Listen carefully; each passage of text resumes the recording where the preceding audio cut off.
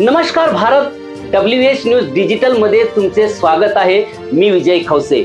आजच्या बातमीचे प्रायोजक आहे एश इलेक्ट्रॉनिक्स अँड फर्निचर वाडी नागपूर. आम्ही नेहमी असतो बातम्यांच्या पुढे बातम्यांच्या मागे. बातम्या लपवत नाही दाखवितो. मग ते राजकारण असो की सामाजिक. क्राईम असो की भ्रष्टाचार. अन्याय असो वा अत्याचार आम्ही निर्भयपणे देतो बातम्यांना महत्त्व. तुम्ही सुद्धा महत्त्व द्या व आमच्या चॅनलला सबस्क्राईब करा. जाहिरात देऊन आम्हाला आर्थिक मदत करा. बघूया आजची विशेष बातमी.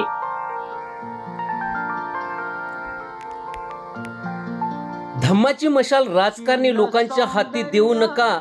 ती मशाल धम्म योद्ध्यांच्या हातीत सुरक्षित आहे. नारायण बागडे. डॉक्टर बाबासाहेब आंबेडकर यांनी भारत बौद्धमय करण्याचे स्वप्न पाहिले होते. राजकारण्याचे नाही. त्यासाठी भारतीय संविधानच फार आहे. आमच्या नेत्यांनी धम्माचे कार्य सोडून राजकारणासाठी आपल्या तत्वाला तिलांजली देऊन प्रस्थापित राजकीय नेत्यांच्या दरवाजावर लोटांगल घालण्यात राजकारणी आयुष्य बर्बाद केलेले आहे. धम्माची मशाल राजकारणी लोकांच्या हाती देऊ नका ती मशाल धम्म योद्ध्यांच्या हातीच सुरक्षित आहे असे प्रतिपादन आंबेडकरी विचार मोर्चा आणि आंबेडकरी रिपब्लिकन मोर्चाचे राष्ट्रीय अध्यक्ष नारायण बागडे यांनी व्यक्त केले.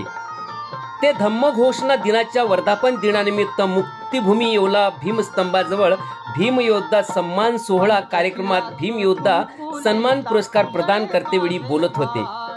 कार्यक्रमाच्या अध्यक्षस्थानी आंबेडकरी महिला मोर्चा उत्तर महाराष्ट्र अध्यक्षा कल्पना दोंदे उद्घाटक म्हणून आंबेडकरी रिपब्लिकन मोर्चाचे राष्ट्रीय अध्यक्ष नारायण बागडे प्रमुख पाहुणे राष्ट्रीय महासचिव उद्धव तायडे उत्तर महाराष्ट्र अध्यक्ष छोटूलाल मोरे धुळे जिल्हा अध्यक्ष विजय मोरे आंबेडकरी महिला मोर्चा नाशिक जिल्हा पदाधिकारी प्राध्यापक मीना पवार मनमाड पदाधिकारी कैलास खडतोडे महिला मोर्चा मुंबई प्रदेश अध्यक्षा पौर्णिमा पाईकराव बोरिवली शाखा अध्यक्षा संगीता जयस्वाल जनसंपर्क प्रमुख डॉक्टर कृष्णा बेडसे विदर्भ प्रदेश प्रवक्ते बौद्ध धर्मा बागडे येवला तालुका अध्यक्ष जालंधर खैरनार कोपरगाव अध्यक्ष अजय जगताप औरंगाबाद महिला मोर्चा अध्यक्षा शालू भोकरे अहमदनगर महिला मोर्चा अध्यक्षा सुनीता दाभाडे निफाड अध्यक्ष सागर निकाडजे शिर्डी